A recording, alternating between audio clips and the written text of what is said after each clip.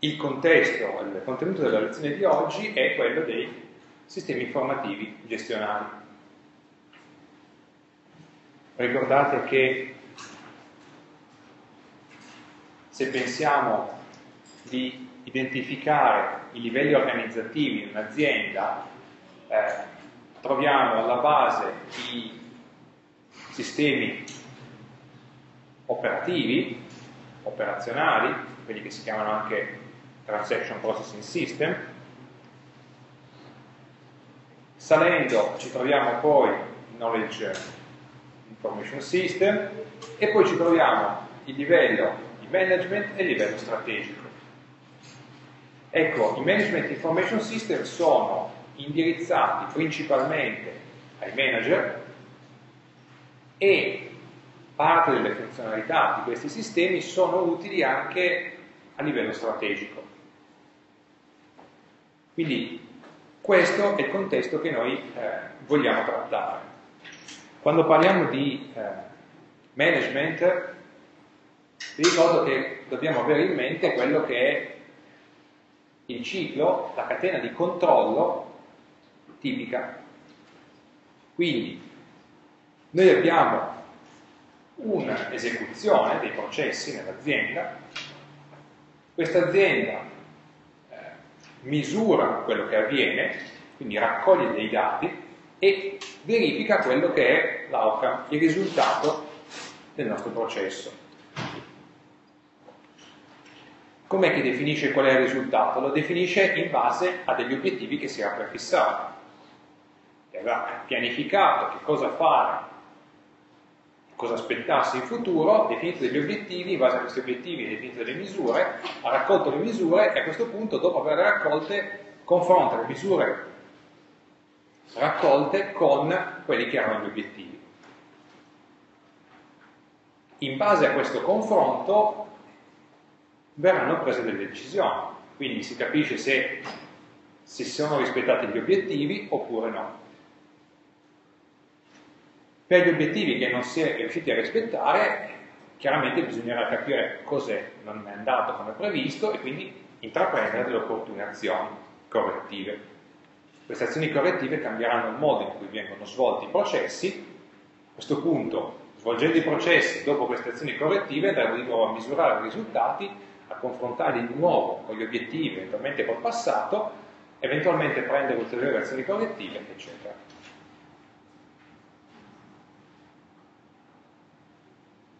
Questo è quello che è il management.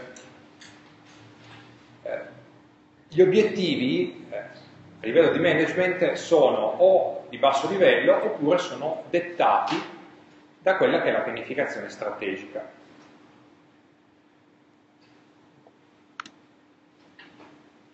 Se pensiamo alla pianificazione strategica, questo è, è un quadro abbastanza, eh, almeno visivamente, complesso, ma tutto sommato rispetto a quella che è la realtà molto semplificato.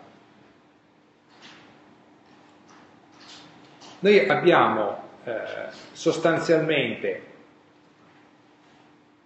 due aspetti da eh, prendere in considerazione. Dobbiamo capire che cosa avviene ed è essenzialmente tutto questo riquadro, e decidere come basarci su quello che avviene e come raggiungere i nostri obiettivi. Cosa vogliamo fare e come intendiamo farlo. Sul cosa vogliamo fare eh, dobbiamo considerare due aspetti l'istante presente e quello che è la nostra proiezione sul futuro. Il nucleo di tutto sono i nostri obiettivi. Gli obiettivi sono eh, fondamentalmente definiti in base a tutta una serie di elementi. Quella che è la nostra missione, se vogliamo non possiamo definire la nostra missione in base agli obiettivi,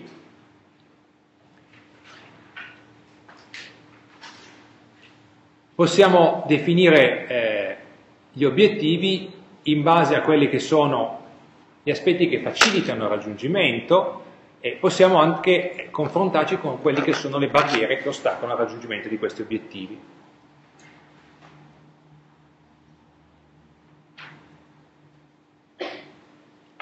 Com'è che raggiungiamo gli obiettivi? Con quelle che sono delle eh, strategie. Le strategie, eh, in fin dei conti, corrispondono a una serie di azioni. Quindi io prendo, intraprendo delle azioni per poter eh, realizzare delle strategie.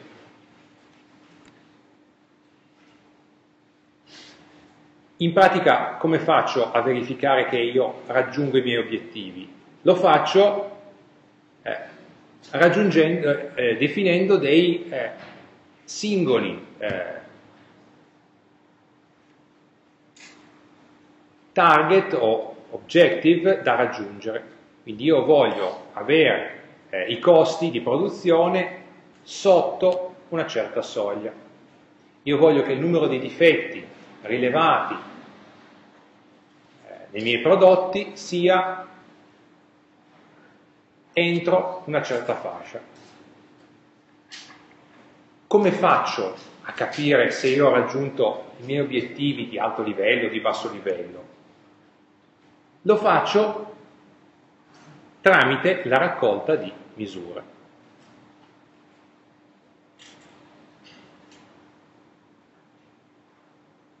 Quindi se volete qui eh, non, è non, è evidenziato il ciclo di controllo perché qui stiamo parlando di pianificazione strategica. Il ciclo di controllo che abbiamo visto prima, che è questo, in realtà è funzionale a verificare e fare gli aggiustamenti eh, per poter raggiungere gli obiettivi. Quello che è comunque lo strumento fondamentale sono le misure. Indicatori che ci dicono come sta andando la nostra azienda, i nostri processi.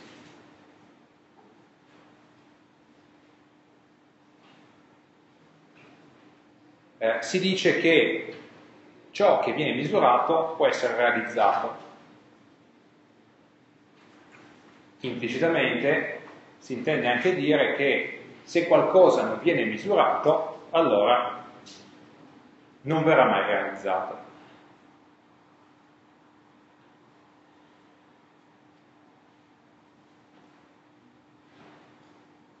Okay? Se io ho un obiettivo, a fronte di questo obiettivo una misura, raccolgo la misura e confronto la misura con quello che volevo raggiungere, con la soglia che volevo raggiungere, allora riuscirò a raggiungere il mio obiettivo. Se la misura non viene raccolta, quell'obiettivo magari lo raggiungo ma per caso, non perché ho innestato un ciclo di controllo virtuoso.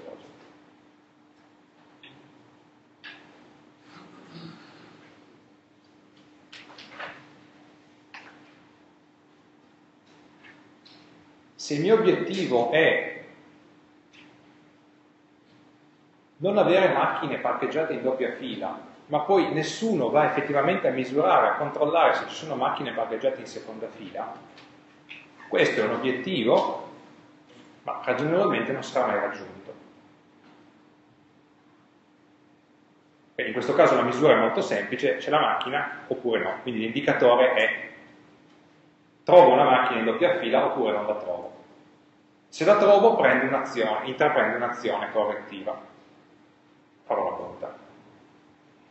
Se non ho questo ciclo di fisso un obiettivo, definisco cosa voglio misurare, in base alle misure intraprendo delle azioni, l'obiettivo sarà difficilmente raggiungibile.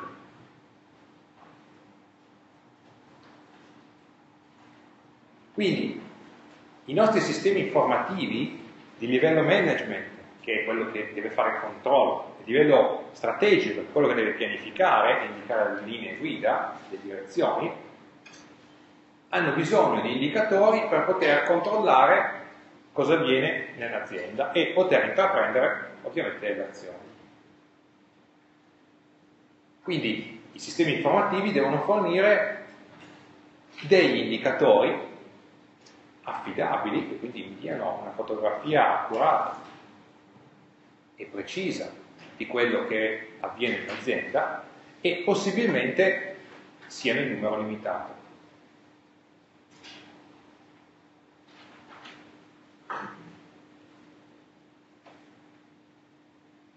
La domanda cui vorremmo rispondere è come definiamo questi indicatori.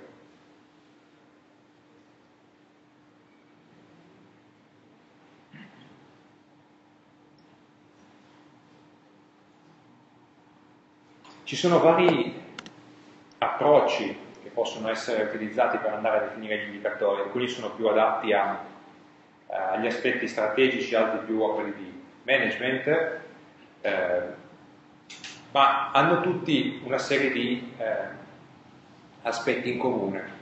Se volete possiamo vedere stessi, eh, le stesse tecniche eh, diciamo, a seconda delle prospettive.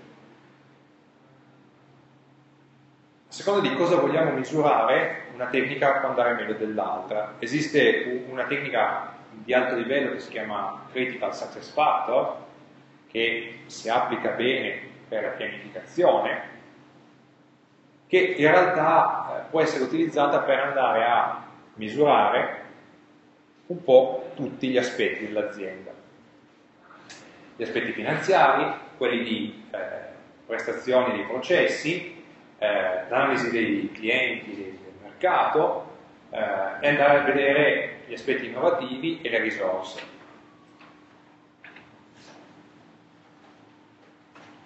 Esistono poi tutta una serie di, tecniche più eh, precise, più a livello di eh, management,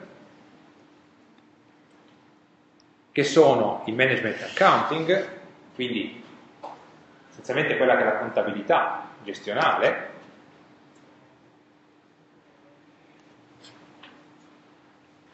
esiste una tecnica eh, che si chiama KPI,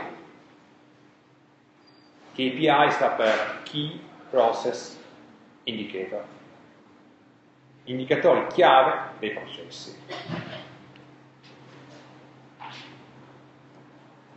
Abbiamo delle tecniche specifiche per l'analisi dei clienti e del mercato, che però di nuovo si basano su degli indicatori.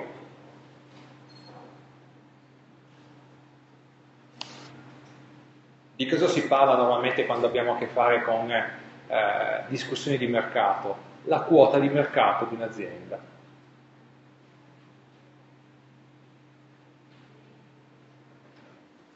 La quota di mercato è un indicatore semplice che riguarda per l'appunto gli aspetti eh, clienti e di mercato.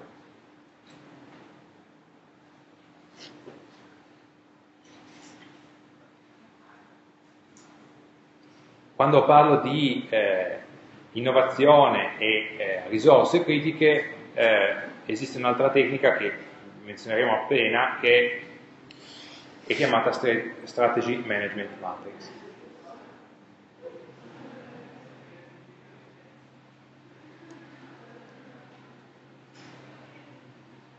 Tutti questi aspetti eh, che se a livello di management possono essere visti separatamente, quindi ci sarà una funzione che si occupa di, eh, aspetti finanziari e quindi sarà interessata esclusivamente a tecniche di management accounting, altri che guardano le prestazioni dei processi, quindi utilizzeranno fondamentalmente KPI, eccetera. E da un punto di vista di pianificazione e di eh, strategia, eh, queste sono tutte prospettive che sono viste complementari sul nostro, sulla nostra azienda. Per cui focalizzarci soltanto su una di esse è estremamente riduttivo. Per questo motivo eh, stata sviluppata una tecnica che si chiama BSC, Balanced Scorecards, che eh, cerca di mettere assieme gli indicatori, gli score, che l'azienda raggiunge sotto queste diverse prospettive.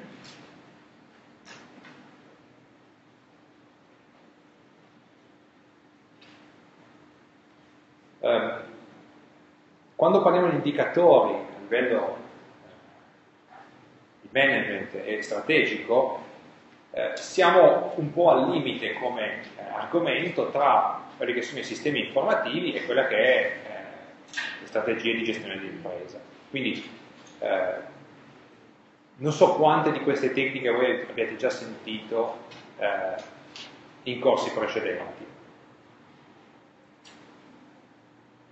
Qualcuno di voi ha sentito parlare di balance scorecards prima? KPI? Nessuno?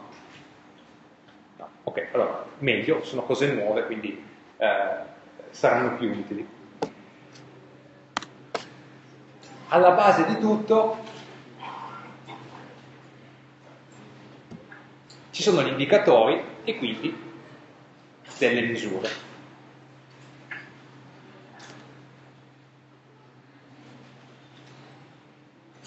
Visto che la vostra provenienza è abbastanza eterogenea, eh, farò un'introduzione su quella che è la teoria della misura, eh, soprattutto applicata agli aspetti diciamo, più informativi. Eh, probabilmente ripeterò cose che eh, alcuni di voi avranno già sentito, ma almeno arriviamo tutti eh, a un livello eh, comune.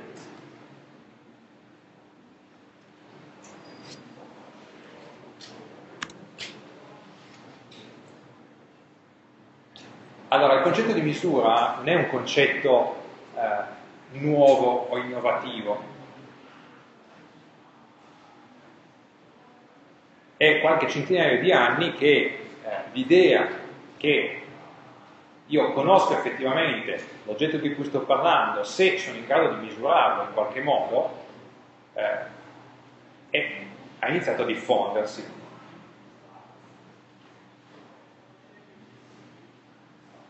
Ne parlava Lord Kelvin qualche centinaia di anni fa, in cui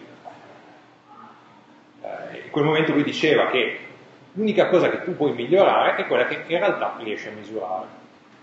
La stessa eh, attitudine che troviamo nelle tecniche di gestione moderne. Come facciamo a misurare? Possiamo andare a chiedere alle persone all'interno dell'azienda e segnare su un foglio di carta, oppure possiamo avere un sistema informativo che è in grado di raccogliere in maniera efficiente eh, le informazioni e soprattutto di gestire una quantità elevata di dati. Questo è uno degli aspetti eh, innovativi e essenziali dei sistemi informativi di management. La facilità di raccolta delle informazioni e la mole di dati che possono essere trattati.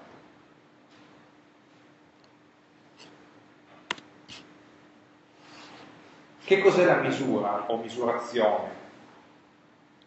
È il processo che assegna in maniera oggettiva dei valori a delle entità per andare a descrivere o caratterizzare un loro specifico attributo.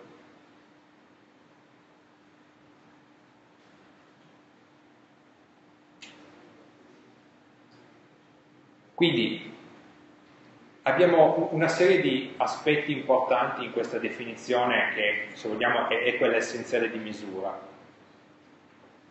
Abbiamo delle entità, cioè che cosa vogliamo misurare? Le entità possono essere eh, di natura più diversa, possono essere eh, delle persone, possono essere dei processi, eh, possono essere dei prodotti,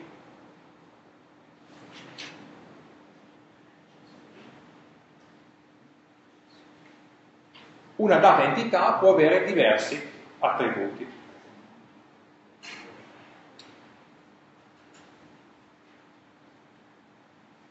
Un prodotto può avere la difettosità, ad esempio, il costo, il prezzo. Le persone possono avere l'altezza, il peso, i processi possono avere eh, la durata, ad esempio. Quindi, data un'entità, noi abbiamo diversi attributi che eh, possiamo misurare. La chiave fondamentale del processo di misurazione è che i numerini che rappresentano la misura di un attributo di una specifica entità non sono dati a caso, ma sono definiti tramite un processo che permetta di, di eh, assegnare questo numero in maniera oggettiva. Oggettiva vuol dire che quella misura fatta da eh, persone diverse o strumenti diversi, magari anche in tempi diversi, restituisce sempre lo stesso valore, a meno di un errore di misurazione, ovviamente.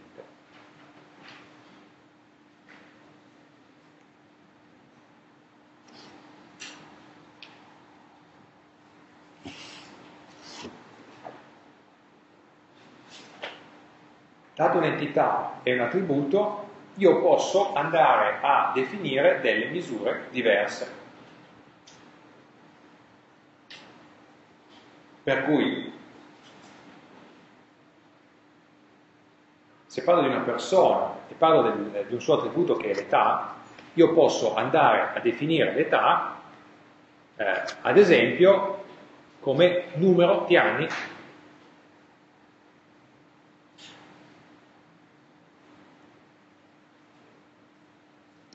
l'anno dell'ultimo compleanno, mesi trascorsi eh, dall'inizio, eh, scusate, dalla nascita.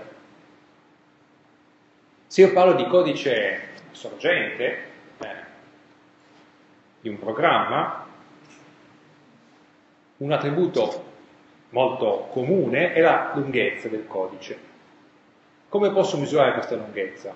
Ad esempio, eh, se il codice è scritto in un formato testuale posso andare a contare le linee. Le linee di codice, block, è una misura estremamente diffusa. Infatti eh, alcune misure di produttività eh, vanno a vedere quante linee di codice è in grado di produrre un programmatore al giorno, alla settimana o al mese, secondo l'unità di tempo che consideriamo.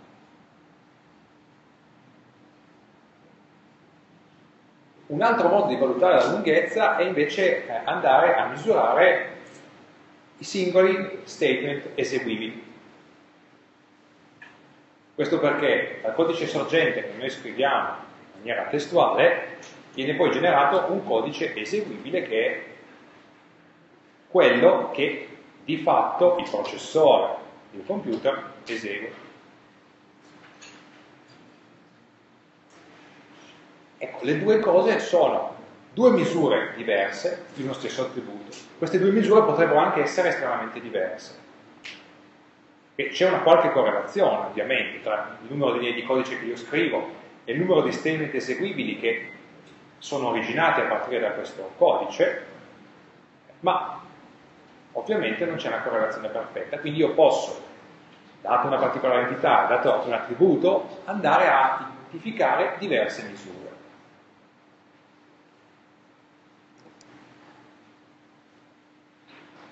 eh, altri esempi, se io ho il processo di test eh, di un software, eh, posso andare a studiare la durata del processo.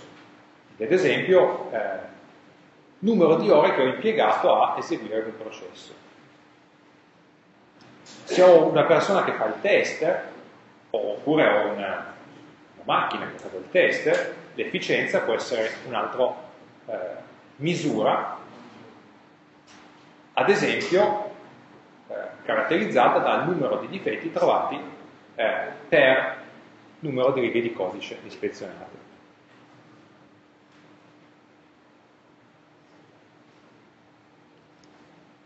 Altri esempi, eh, se io ho un sistema operativo, l'affidabilità è una caratteristica abbastanza comune e una misura abbastanza standard è il to failure.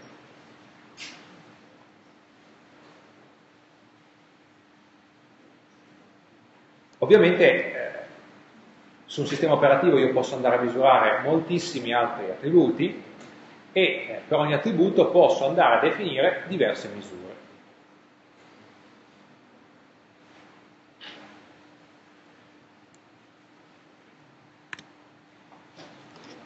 Quando io definisco una misura, eh, devo ricordarmi di andare a specificare quale tipo di entità applico e quale attributo voglio misurare.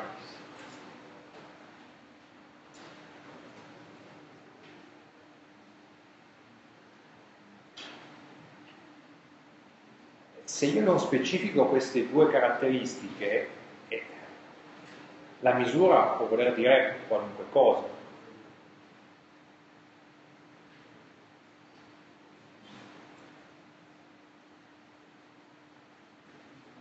Pensate al prodotto interno lordo. Se vi dico prodotto interno lordo, eh, ognuno può immaginare un'entità a cui applicarlo, una nazione, una regione, la comunità europea, il mondo.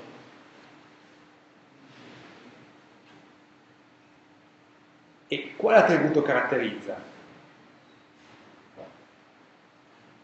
Uno può dire che misura eh, il benessere di una nazione tramite il PIL, ma il, PIL potrebbe anche essere esclusivamente una misura di qual è la produttività economica di una nazione, quindi non essere necessariamente correlata con il benessere. Quindi eh, esistono un sacco di misure standard, io posso anche utilizzarle, anzi molto spesso conviene utilizzare delle misure standard piuttosto che inventarsene di nuove, ma eh, nella mia definizione del, della, della misura devo partire da qual è l'entità che voglio andare a caratterizzare e qual è l'attributo che voglio eh, misurare. Altrimenti il risultato è che ho dei numeri che non vogliono dire nulla. Anche perché eh, se la misura non è così standardizzata, eh, in base all'obiettivo che mi sono posto, quindi entità e attributo, io posso andare a misurare in maniera diversa, quindi la procedura può cambiare in base all'obiettivo. Quindi è estremamente eh, importante capire qual è l'entità e eh, qual è eh, l'attributo.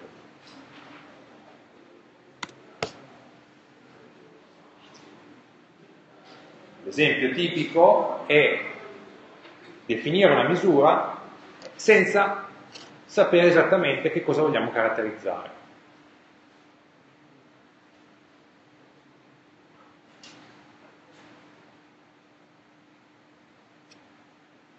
se io considero eh, i risultati di un test del quoziente intellettivo, eh, che cosa misura? L'intelligenza in generale, l'abilità verbale, le capacità di soluzione di problemi. Ci sono migliaia di test diversi, eh, se io non parto dall'attributo che voglio misurare, eh, la misura non vuol dire assolutamente nulla.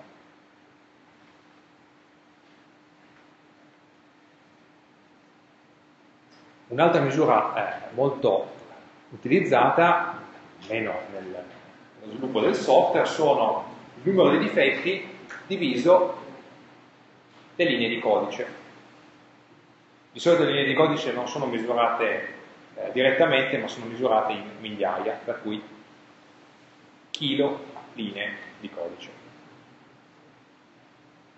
Eh, però questa misura che cosa vuol dire? è una misura della qualità del codice oppure è una misura dell'efficienza eh, di un processo di test. Quindi, di nuovo, prima devo capire per cosa voglio usare la misura, quindi parto dall'obiettivo e poi definisco la misura.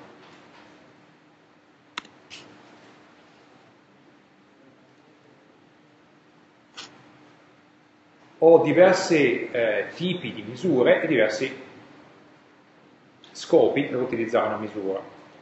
Eh, Due tipi fondamentali, poi vedremo che in realtà ci sono eh, altre classificazioni, sono le misure dirette o indirette. Le misure dirette sono quelle che posso misurare immediatamente, quelle indirette invece misuro, eh, ad esempio, sulla base di altre misure dirette.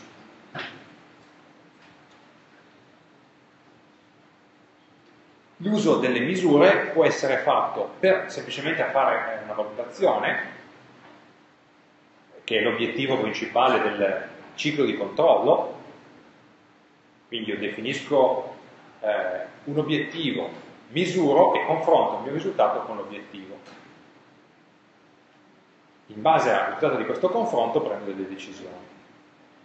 Posso anche utilizzare le misure per fare della predizione.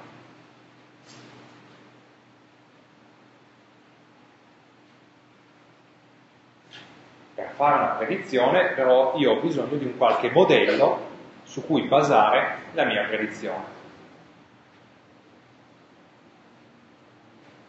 Quindi, mentre per l'assessment io tutto sommato, una volta che ho definito la misura e il motivo per cui la misura è importante, ha senso andarla a misurare confrontarla, per la predizione io devo avere un qualche modello che mi dica eh, come e che ruolo giocano le varie misure nel mio sistema di predizione.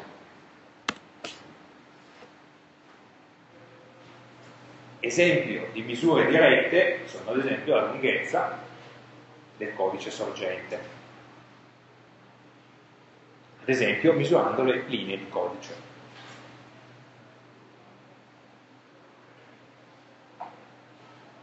Allora, le linee di codice sono una misura che, eh, se leggete la letteratura di eh, ingegneria del software sono utilizzate tantissimo. E sono altrettanto discusse, hanno una loro validità ma eh, molto discussa, però in pratica sono molto facili da misurare. Quindi alla fin fine eh, in molti casi io utilizzo una, una eh, misura perché riesco a misurarla facilmente.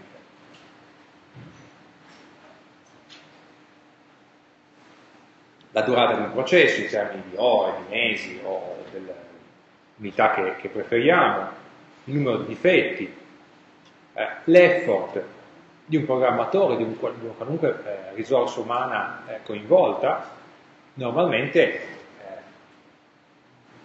misurata in mesi uomo.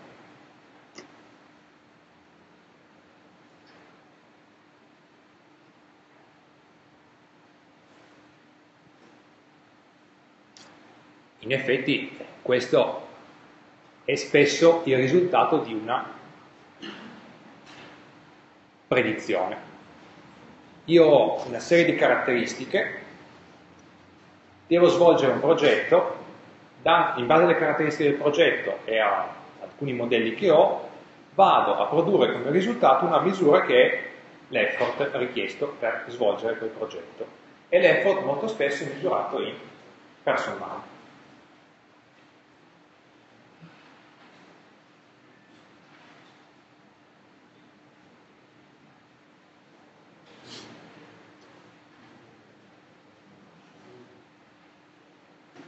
La traduzione sarebbe mesi persona, ma in italiano non si usa di solito, è meno politically correct l'espressione mesi uomo, ma è quello che si usa di solito in, in italiano. Anche questa è una misura molto grossolana,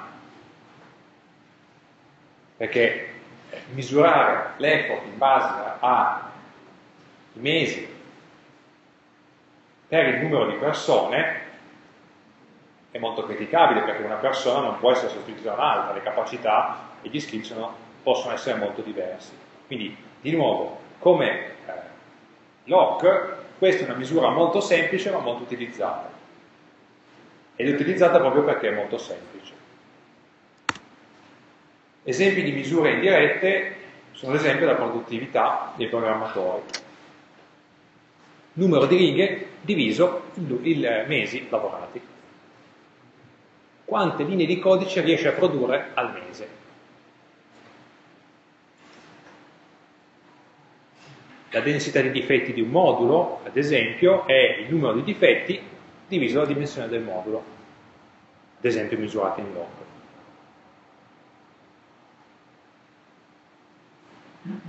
Quindi io ho moltissime misure, molto utili, ad esempio la produttività, la densità di difetti, che non sono misurate direttamente, ma sono misure indirette, per cui si basano, vengono calcolate in maniera derivata da altre misure.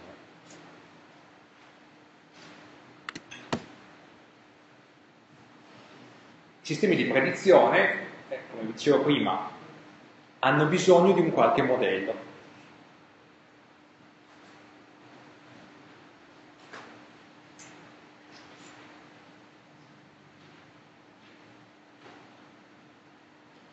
Ad esempio, eh,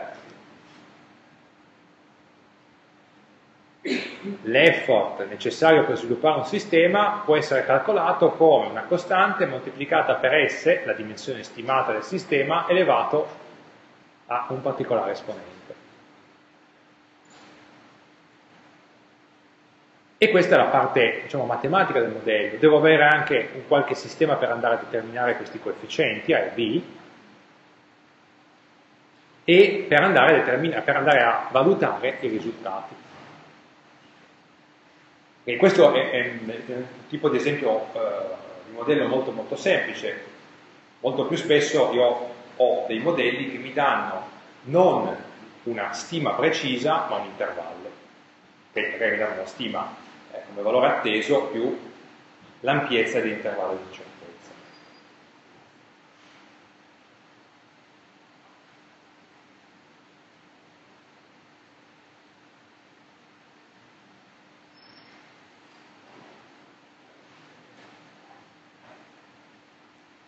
Anche i modelli di stima sono fondamentali per andare a sviluppare delle strategie e intraprendere delle azioni correttive.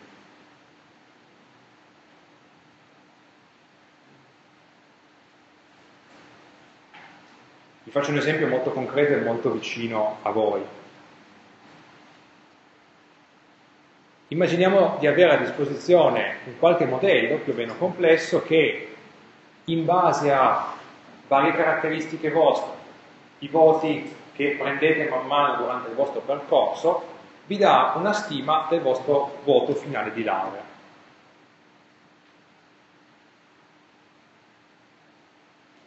Ecco, un sistema di questo tipo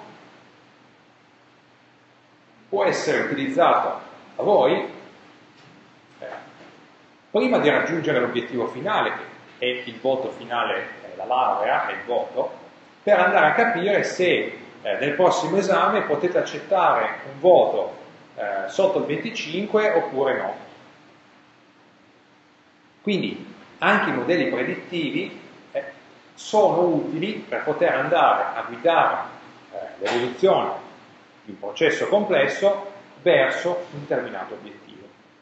Perché molto spesso se uno misura il raggiungimento, del, prende la misura alla fine del processo, a quel punto ormai è troppo tardi per andare a eh, agire in qualche modo.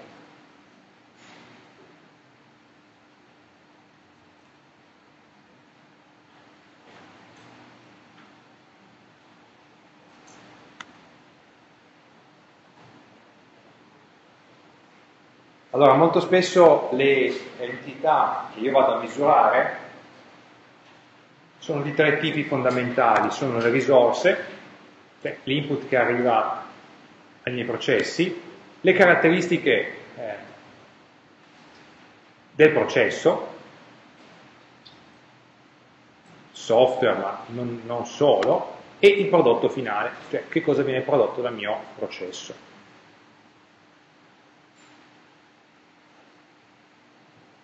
Di queste sono le tre principali categorie di entità che noi possiamo andare a misurare.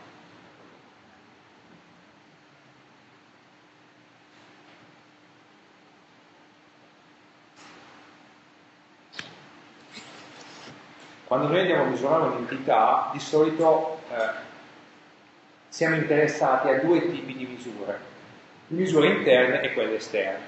Cosa vuol dire interna? Interna vuol dire che può essere misurata esclusivamente sulla base dell'oggetto, dell'entità che ho di fronte. La lunghezza eh, di un eh, pezzo di codice può essere misurata come misura interna senza fare ricorso ad altro. L'affidabilità di un prodotto invece non può essere misurata esclusivamente facendo riferimento al prodotto stesso. Devo vedere il prodotto utilizzato e andare a raccogliere le misure di difetti. Quindi non è il prodotto da solo che, su cui posso andare a misurare l'affidabilità, ma posso misurare immergendo il prodotto in un dato contesto. Quindi io devo misurare come il prodotto reagisce a questo contesto, ad esempio misurando la, eh, l'affidabilità del prodotto.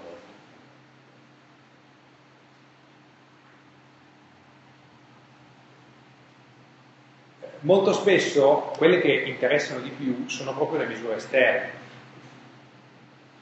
Peccato che le misure esterne sono più difficili da raccogliere e soprattutto vengono raccolte a posteriori.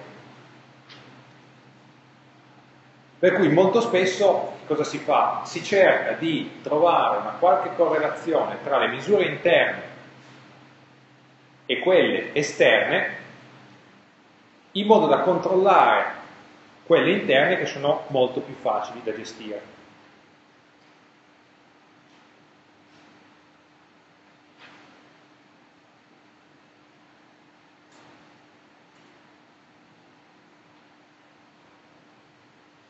Qual è la durata della vernice di un'automobile agli agenti atmosferici? Io voglio sapere quanto tempo posso tenere la mia auto prima che eh, si facciano di buchi e si formi eh, della ruggine. Questa è ovviamente una misura esterna, perché non posso andare guardando semplicemente l'auto a capire quale sarà la durata. La posso misurare solo dopo aver immerso l'auto dentro l'ambiente e osservato e andato a misurare il tempo che trascorre dal momento in cui l'auto viene eh, prodotta al momento in cui compare la prima macchia di origine. Quanto è spessa eh, la vernice della mia automobile? Questa è ovviamente una misura interna perché può essere misurata esclusivamente sulla base del mio prodotto.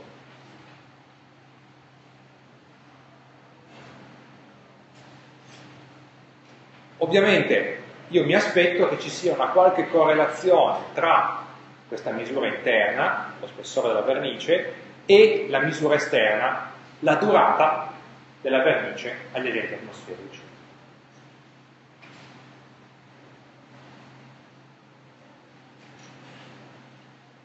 Quindi esterno vuol dire misura del prodotto o anche del processo immerso in un particolare ambiente, misura interna vuol dire misura basata esclusivamente sull'oggetto, sull'entità che sto misurando.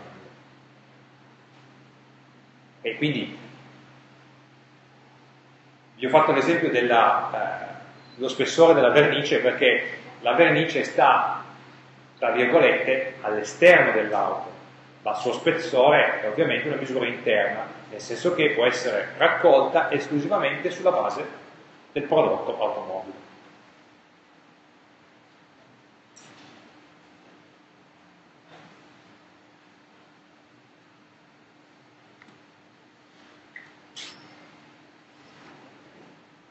Beh, qui ci sono alcuni esempi di eh, misure di, relative al prodotto che è il processo di sviluppo del software. Eh, non mi soffermo eh, particolarmente. Eh, date queste diciamo, definizioni di base, eh, due cenni su quella che è la teoria della misura. In generale, man mano che io comprendo meglio un particolare fenomeno, sono in grado di sviluppare delle misure via via più raffinate e dettagliate.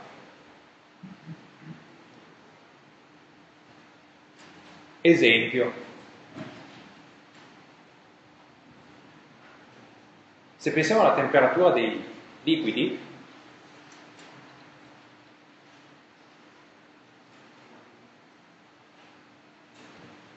centinaia di anni prima di Cristo il confronto era più caldo, più freddo di.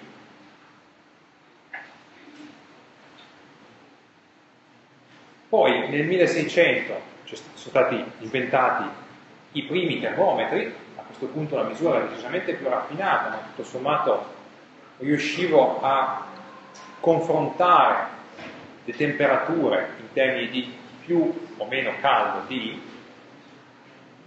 Poi è stata eh, identificata la scala, è stata proposta la scala Fahrenheit, poi quella centigrada, e poi eh, a metà dell'Ottocento è stata proposta la scala assoluta. Quindi ho avuto un'evoluzione nel tempo che mi ha portato ad avere misure sempre più raffinate di quella che è un attributo molto comune di un'entità, ad esempio i liquidi.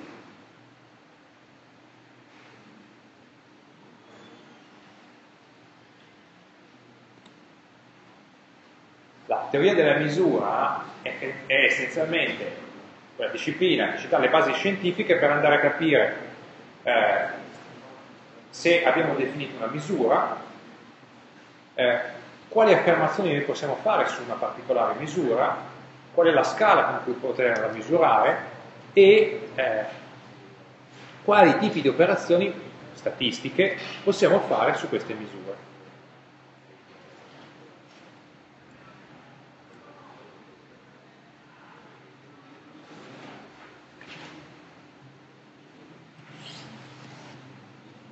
Fondamentalmente un sistema di misura traduce quelle che sono delle osservazioni empiriche. Io quindi osservo tramite l'esperienza nel mondo reale. Ad esempio Fred è più alto di Joe. Questa è una misura dell'attributo altezza dell'entità persona.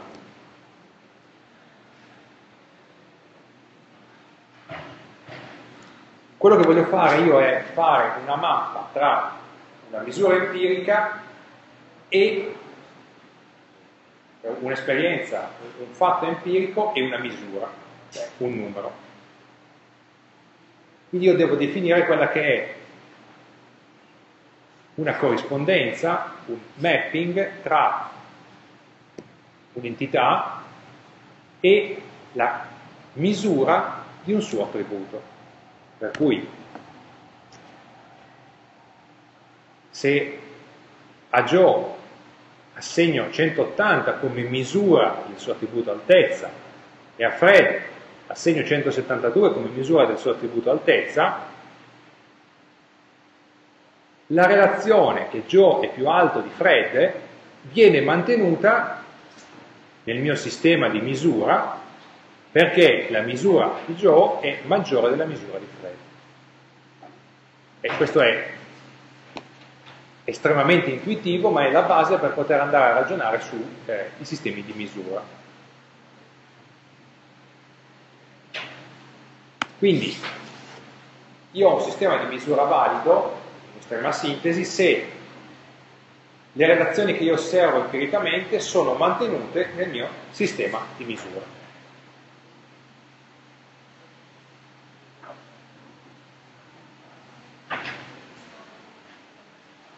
In funzione di quello che voglio misurare, della precisione con cui eh, lo misuro, posso utilizzare diverse scale.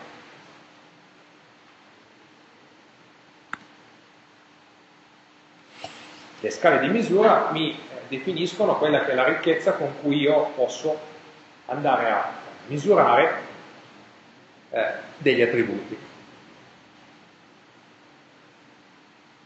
Sostanzialmente io vado a scegliere la scala e il tipo di misura cercando di risolvere tre questioni principali. Trovare quello che il sistema, la misura corretta per un dato attributo. Cioè voglio poter rappresentare in maniera opportuna un certo attributo. E questo è un problema di rappresentazione.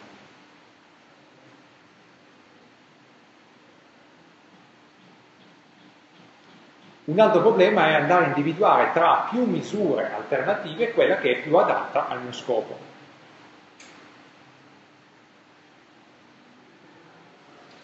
E scegliere quella che mi dà più vantaggi.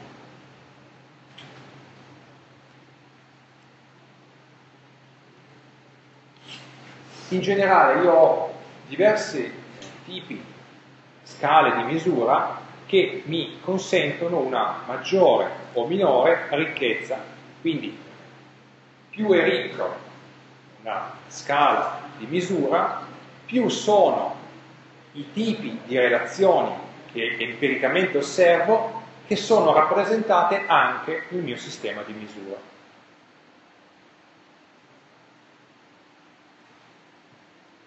Quindi, dato un attributo, io ho quella che si chiama misura ammissibile se quella particolare misura è in grado di rappresentare tutte le relazioni empiriche che io osservo per quel particolare attributo.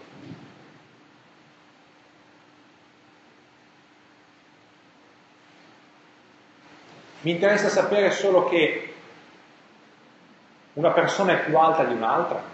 e quindi ho semplicemente una relazione di ordine.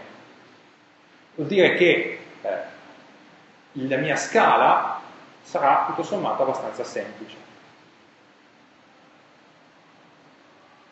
Voglio eh, invece sapere che la differenza di altezza tra due persone è uguale alla differenza di altezza tra altre due persone, quindi mi interessa proprio la differenza tra eh, le misure, e allora ho bisogno di una, di una eh, scala un po' più raffinata, per cui da una scala semplicemente ordinale devo andare a una scala di tipo interval. Voglio poter rappresentare il fatto che l'altezza di una persona è il doppio dell'altezza di un'altra. Quest'altro tipo di relazione empirica che io voglio rappresentare mi, chiede, mi richiede una scala ancora più sofisticata, una scala del tipo razio.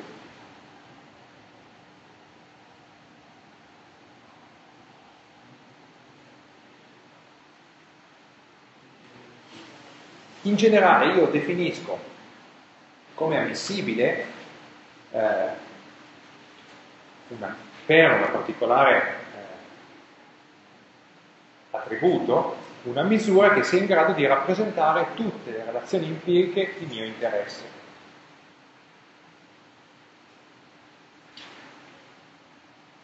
Di mio interesse significa che, di nuovo, io definisco la misura in base ai miei obiettivi. Senza obiettivi la misura non ha senso, quindi ho un'entità, un attributo che voglio misurare con i miei particolari obiettivi. In base a questi definisco la misura. Eh, è possibile che ci siano molte misure ammissibili per un particolare attributo. Io dico che eh, ho una trasformazione ammissibile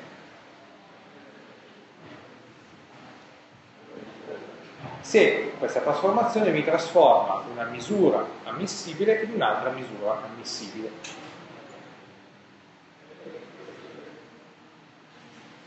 In base a quanto è sofisticata la misura, avrò un insieme di trasformazioni ammissibili molto più ristretto.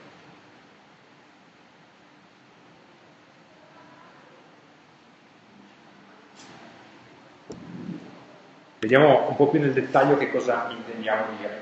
Vediamo ad esempio la scala che ha la ricchezza minore che è la scala nominale.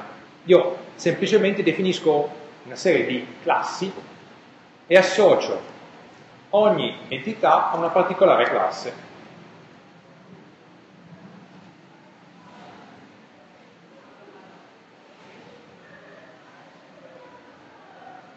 Che vuol dire che per le persone posso identificare due classi, maschi e femmine. Non ho nessuna relazione empirica se non il fatto che siano diversi eh, che rappresento. Non c'è un ordine, non c'è una differenza, non c'è un rapporto, quindi semplicemente assegno delle classi.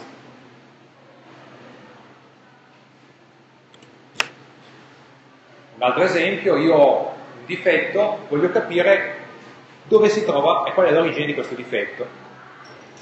Il difetto può essere stato introdotto in fase specifica, durante la progettazione durante la scrittura del codice. Il fatto che un difetto sia messo, sia stato introdotto in fase specifica piuttosto che in fase di codifica, eh, sono semplicemente due classificazioni diverse. Non ho nessun'altra eh, relazione empirica. Quali sono le trasformazioni ammissibili? Beh, se io dico che la misura è 1 se il difetto è originato durante la specifica, 2 se è originato durante il design e 3 se è originato durante la codifica, invece di dire 1, 2, 3 potrei dire 101, 3,1 e 5. L'unico requisito di una trasformazione di questo tipo è che i valori siano distinti. Per cui potrei dire S, D e C, invece di mettere dei numeri, potrei addirittura mettere delle lettere.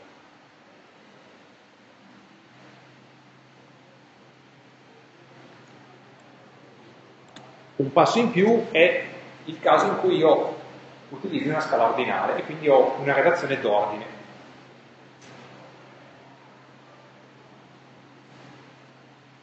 Questo punto sono misure ammissibili tutte le misure che mantengono eh, quest'ordine. Quindi qualunque trasformazione che mi faccia passare eh, da un sistema di misura all'altro, mantenendo quello in particolare ordine, è una trasformazione valida.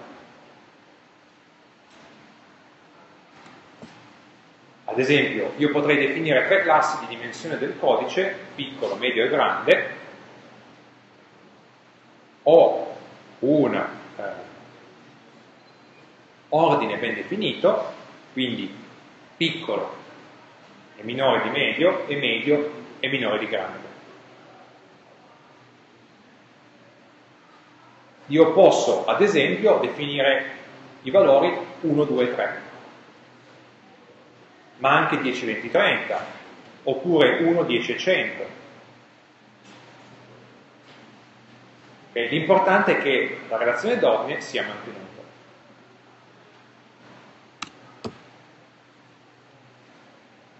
Un passo in più è quello della scala di tipo interval.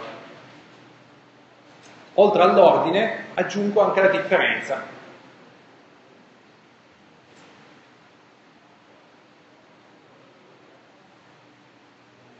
Quindi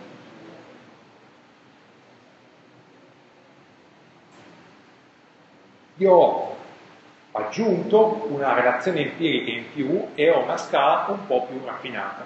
E quindi ho come ammissibile qualunque trasformazione che mi mantenga invariate eh, l'uguaglianza tra le differenze.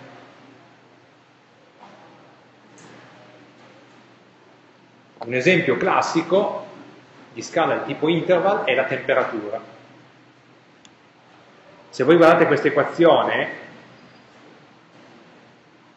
è esattamente l'equazione che lega la misura dei, eh, della, della temperatura in gradi Celsius alla misura della temperatura in gradi Fahrenheit.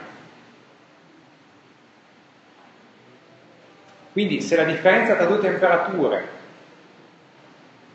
è uguale alla differenza tra altre due temperature, questa relazione viene mantenuta sia che io le misuri in Celsius, sia che le misuri in Fahrenheit. In più ovviamente viene mantenuto l'ordine.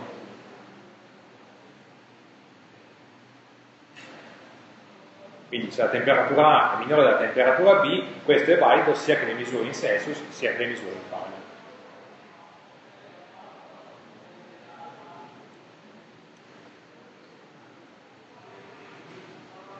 Un passo ancora successivo è aggiungere i rapporti tra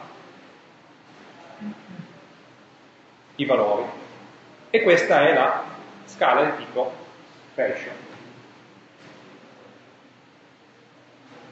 Una caratteristica distintiva di questa scala è il fatto che esiste uno zero.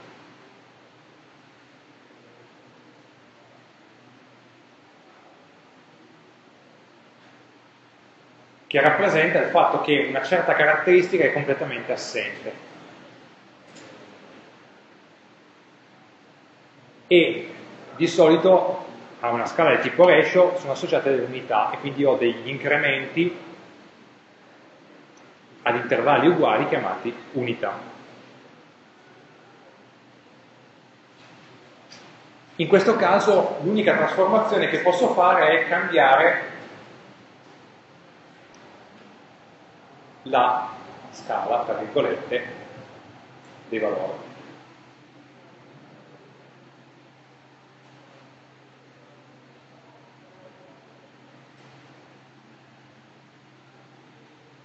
La misura della temperatura in gradi Kelvin è un classico esempio di misura di tipo ratio.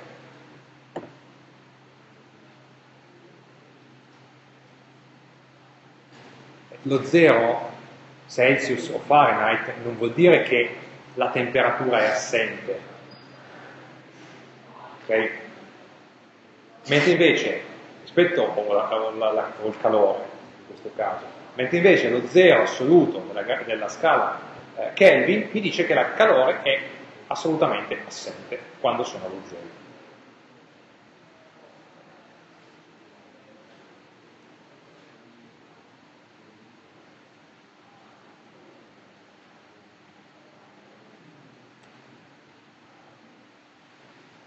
Eh, un esempio di trasformazione è, in termini di, di lunghezza del codice, è passare da linee di codice a numero di caratteri. Fondamentalmente io dico che di, la dimensione del, del codice, il numero di caratteri è uguale a una costante moltiplicata per il numero di linee di codice, dove la costante è la dimensione media della linea in caratteri.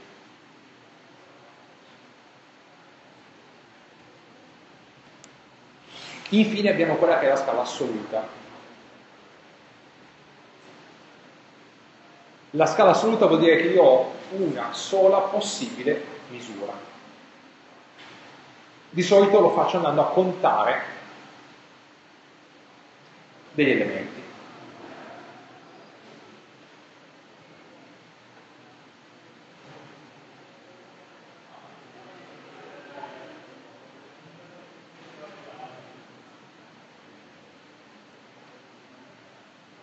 Okay?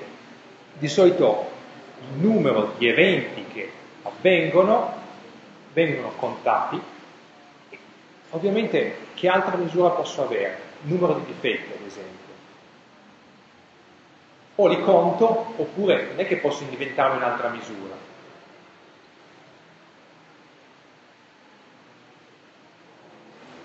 Non è che posso moltiplicare il numero di eventi contati per due, perché sennò cambia completamente il significato. In questo caso non ci sono trasformazioni ammissibili, l'unica misura è quella.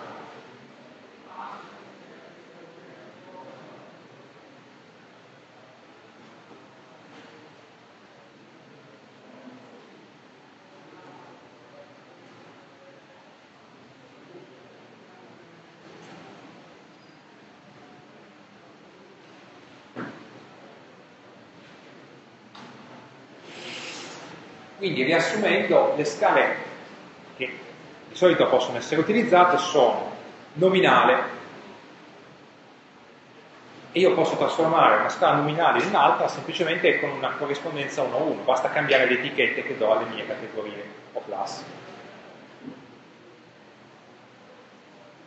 La scala ordinale basta che io abbia una qualunque funzione, eh, funzione eh, monotona e crescente. E questa è una trasformazione valida posso avere gli intervalli e quindi aggiungo una caratteristica in più ho la scala razio in cui aggiungo i rapporti tra diverse misure e infine ho la scala assoluta che corrisponde a contare gli eventi.